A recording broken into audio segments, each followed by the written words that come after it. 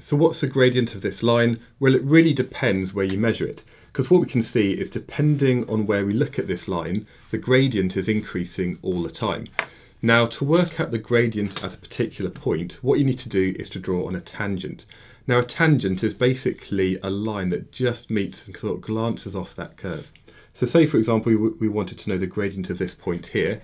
What I'd do is I'd get my ruler and I put it on so that the, the flat line is basically in line with the curve here as it meets it.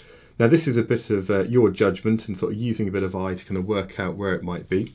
I, I think it's probably something like this. If I draw the line on like that, I've now got a tangent to a curve at this point. And I can then just draw in my triangle and work out the gradient of this line in the way that we would do for a, a linear relationship.